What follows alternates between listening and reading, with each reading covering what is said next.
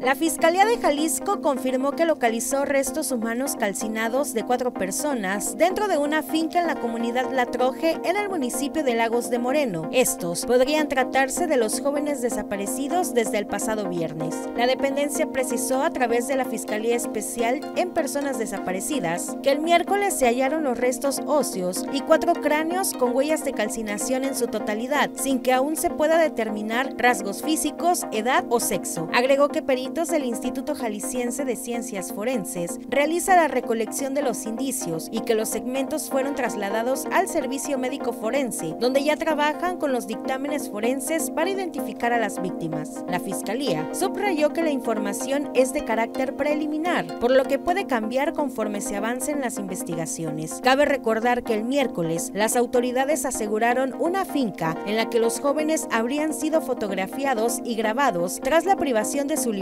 y donde se encontraron manchas hemáticas y calzado.